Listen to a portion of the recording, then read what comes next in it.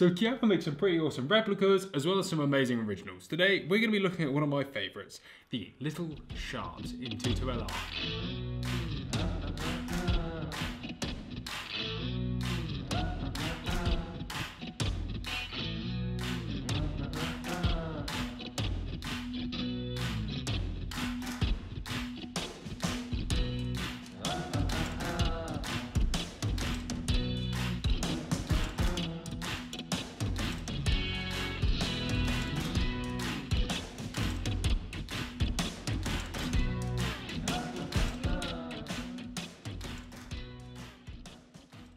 As with all Chiappa stuff, it comes in a really unexciting case.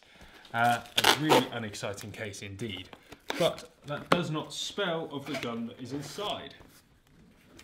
Inside this wonderfully crafted cardboard case, we have this. A 2-2 Sharps rifle.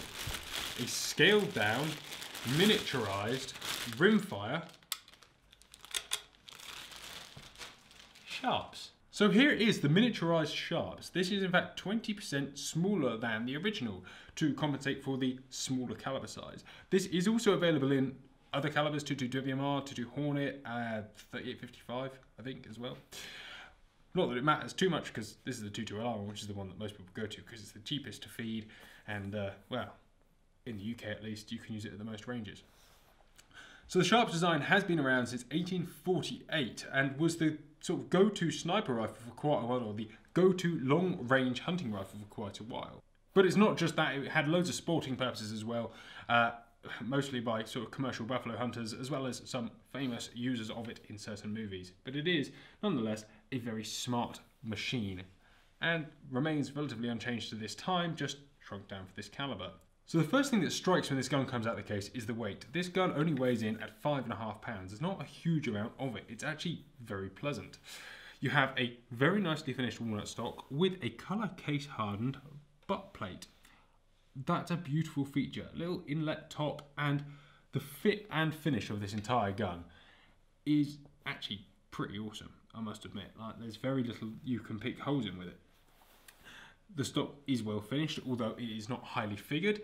It's got a nice bit of fiddle back through it. It is not a plain Jane by any means. It's got enough character to be nice, but not too much character that you'd be afraid of using it. The whole action is case colour hardened. That includes uh, all the working parts apart from the barrel, the back of the breech face here, and this little peep sight, which it comes with. One thing that strikes from this whole thing is the barrel. So it's a 24 inch octagonal barrel and the bluing quality is really very nice, very black, very deep. One thing that lets a lot of these things down is the way the serial number is engraved in there, but you can't argue with that. And Chiappa Firearms Italy, 100% Italian built little Sharps, you can see there, 2-2 long rifle.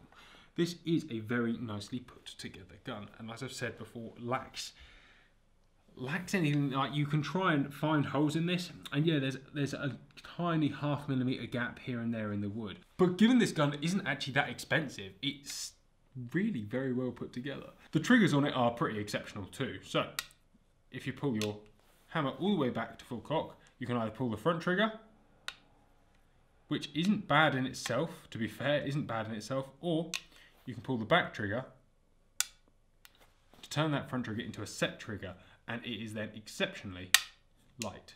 To operate, it's the same as any Sharps rifle.